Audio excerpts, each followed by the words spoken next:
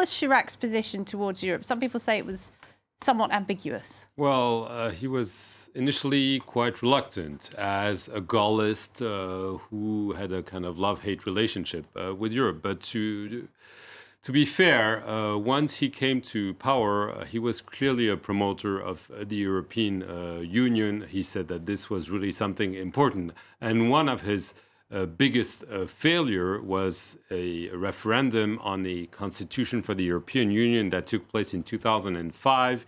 He campaigned for yes, and the French voted no. And this was clearly a slap uh, in the face. And uh, Chirac really took it very badly and very personally. he said, uh, basically, uh, well, that's your choice, but then please don't complain uh, because you made a bad choice. So this was really something uh, that he took personally. So he was an advocate for uh, a more unified uh, Europe, especially after the Iraq War incident that uh, we talked about. He thought that Europe needed to have more of its own identity, and the European Union for him was the best way to achieve more of a counterbalance and, to U.S. power. Yeah, and, and you know, he, he, his sort of famous line was he wanted a united Europe of states. People said, "What do you want? A United States of Europe?" No, I want a united Europe of states. And it was this sort of idea of a federal Europe, which, ironically, you know, Emmanuel Macron right now is, you know, is is the staunchest defender, mm. perhaps, of that idea right now. But he's almost alone right now on the European stage, pushing that idea. But it was a Chirac who, and let's have you know, in his earlier years, he was Eurosceptic. He wasn't born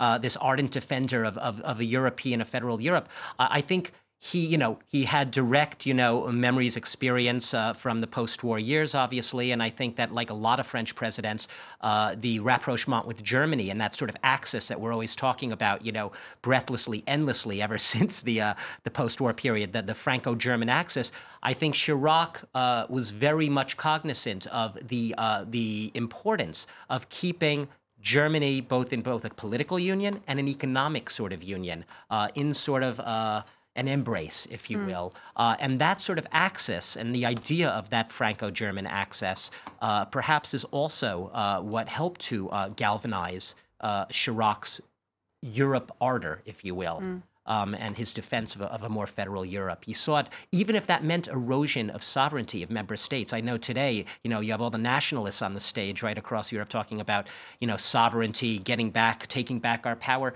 Actually, Jacques Chirac's ideas uh, tended to, uh, to, to, to advocate in favor of a slight erosion of sovereignty for member states because he, that he believed in Europe. That's right. Uh